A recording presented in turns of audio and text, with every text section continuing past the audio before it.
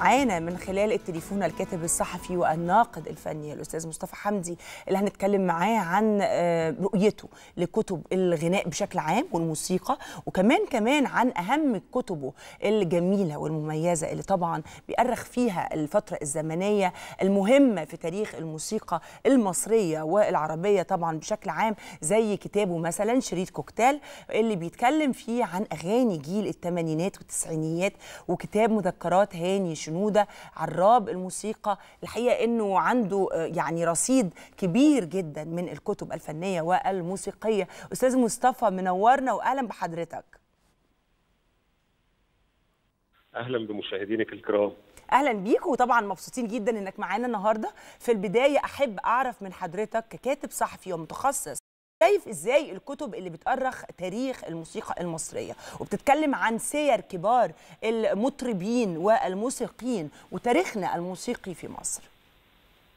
بالتأكيد كتب الموسيقى والغناء تحديدا أنا بشوف إنها من أهم فروع الأدب والنشر في مصر وفي العالم العربي ويمكن في مصر بشكل خاص لأسباب كتير على رأسها طبعا إن إحنا بلد الفن إحنا البلد اللي قدمت الغنى والموسيقى والفن بشكل عام للعالم كله. طبعا. آه إنه عندنا تاريخ فني كبير جدا جدا يستحق إنه يتم تحليله والكتابه عنه والتأريخ ليه. بداية من الموسيقى المصرية الحديثة طبعا باعتبارها آخر حاجة. م. وصولا بقى لحد يعني الموسيقى المصرية القديمة من أوائل بقى بداية معرفتنا بالموسيقى في مطلع القرن ال 18 والقرن ال 19 لأنه وقتها طبعا الموسيقى مرت بمراحل والغنى بشكل عام مر آه. بمراحل كتير جدا جدا فأعتقد إن إحنا المكتبة المصرية مليئة بالأعمال الفنية اللي تستحق التأريخ والكتابة عنها يعني. جميل. شريط كوكتيل حكايات موسيقى الجيل اتكلمت فيه عن الغناء والموسيقى في فترة الثمانينيات والتسعينيات. حابين نعرف منك أكتر أستاذ مصطفى أكتر عن الكتاب أكتر عن كواليس الأغاني اللي اتكلمت عنها. الكتاب كتابته أخذ من حضرتك وقت قد إيه؟ مبدئيا هو شريط كوكتيل كان الهدف منه إنه إلقاء الضوء على أغاني المرحلة اللي أنا شايف إنها اتظلمت على مستوى الكتابة والنقد والأدب كمان وهي مرحلة الثمانينات والتسعينات اللي بتمثل آه. الجيل الجيل الحالي يعني طبعا. دلوقتي الجيل اللي عاش المرحلة دي. أيوه. آه كان دايما بيتم التعامل معاها نقديا باعتبارها مرحلة آه مش قوية مرحلة ما فيش وراها تفاصيل وكواليس تحكى ولا حتى خدت حقها على المستوى النقدي. آه الفكرة جت في شريك كوكتيل إنه من خلال سيرة شخصية والقي الضوء على آه مجموعة من الأغاني اللي بتمثل علامات هامة في المرحلة دي وبتمثل برضو نقطة فاصلة في مسيرة الفنانين اللي غنوها. شريك كوكتيل تقريبا صدر سنة 2017 آه. وهو استغرق إعداده مني تقريبا آه، في مرحلة الكتابة تحديدا استغرق سنة. حلو. لكن ال- الفكرة يعني آه، لما صدرت كان يعتبر أول كتاب بيتكلم عن ال- المرحلة دي بشكل متخصص يعني وبشكل بيجمع ما بين اللغة النقدية مم. وما بين ال- السيرة الشخصية والحس الأدبي جميل جميل جميل و... آه، و... ابرز اتفضل يا. أستاذ مصطفى مع حضرتك اتفضل اتفضل. يعني الكتاب تناول الكتاب تناول مجموعة من المحطات الهامة والأغاني الهامة في مسيرة محمد منير آه، كان ألبوم شبابيك. آه، عمرو دياب آه، في مسيرته عديت على طبعا آه، آه، نور العين وعلى أيامنا وعلى مجموعة الأغاني اللي صدرت في التسعينات وألبومات عمرو دياب في التسعينات.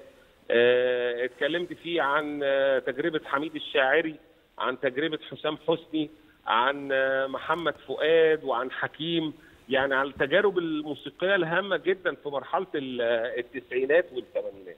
جميل ده جيلنا الجميل وأغانينا الجميلة اللي ارتبطنا بيها واللي سمعناها كلنا وكل واحد فينا عنده ذكرياته الخاصة مع الأغاني بالتأكيد. دي ومع المطربين الجمال اللي دايما مشرفينا ومشرفين مصر بفنهم وبأعمالهم اللي, اللي ما تتنسيش ابدا نتكلم كمان عن كتاب حضرتك مذكرات هاني شنودة وخاصة إنه الحقيقة الموسيقار هاني شنودة أو يعني الحقيقة إنه الفنان هاني شنودة كان من ضمن الفنانين المؤثرين جدا في تاريخ الموسيقى المصرية طبعا. الحديث طبعا آه، الموسيقار هاني شنودة عراب الموسيقى كلمنا أكتر عن تفاصيل الكتاب ده آه، كتاب بقى مذكرات هاني شنودة أنا بعتبره هو التأصيل أو المرجعية اللي اتعملت بعد كده لكتاب شريك كوكتيل يعني آه. أنا وأنا شغال على شريك كوكتيل آه، شفت وقتها إنه آه، التجربة بتاعت موسيقى الثمانينات والتسعينات دي الأب الروحي ليها كان هاني شنودة. طبعا ده كان حقيقي. لازم أعمل تأصيل تاريخي للموسيقى دي من خلال تجربة هاني شنودة كتجربة آه، هي اللي فتحت الباب قدام التغيير اللي حصل في الموسيقى المصرية الحديثة. طبعا. فلما اشتغلت بقى على هاني شنودة تقريبا الكتاب صدر سنه 2020 وكان ال ال الهدف من الكتاب ده إنه نقول لل- للأجيال الجديدة إن في موسيقار مهم جدا. كان ليه دور في إنه يغير شكل الموسيقى المصرية. حقيقي. وبعدين كمان كان ليه دور وإسهامات أخرى في اكتشاف مطربين كبار زي محمد منير وعمرو دياب. طبعا هو طبعا. هو اللي اكتشفهم. ف... فدي النقطة المهمة في مذكرات هاني شنودة. وبعدين إسهاماته بقى في الموسيقى التصويرية. ورؤيته لأنه كان فنان عنده آه، رؤية اجتماعية ورؤية فنية قدروا يتزاوجوا مع بعض ويقدر يقدم منهم مشروع كان مهم جدا طبعا. هو مشروع فرقة المصريين اللي طبعاً. كانت أول فرقة بتقدم الموسيقى الاجتماع أو الأغنية الاجتماعية في الوقت ده. صحيح صحيح. أستاذ مصطفى لازم حضرتك بقى تنورنا إن شاء الله في البرنامج ونتقابل ونتكلم مع حضرتك عن الكتب الجميلة الفنية الموسيقية آه، آه، اللي ليها علاقة بالمزيكا في مصر وبتاريخ الموسيقى المصرية إن شاء الله في الاستوديو. بشكرك جدا.